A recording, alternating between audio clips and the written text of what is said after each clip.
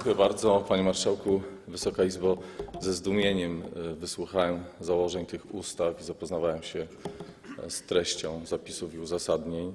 Stanowczo sprzeciwiam się takiej zmianie liberalizacji prawa pracy, e, wypracowanej formuły relacji pracodawcy i pracowników zawartej w kodeksie pracy, funkcjonującej od wielu lat.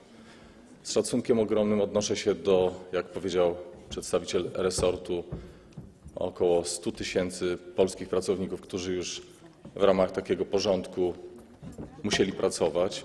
Myślę, że tylko w sposób techniczny, a nie realny. Nie wyobrażam sobie sytuacji, że wnioskodawcy czy przedstawiciel wnioskodawców zechciałby na takich warunkach pracować z wynagrodzeniem minimalnym. Proszę przyznać, panie pośle, że nie zdecydowałby się pan raczej na świadczenie takiej pracy.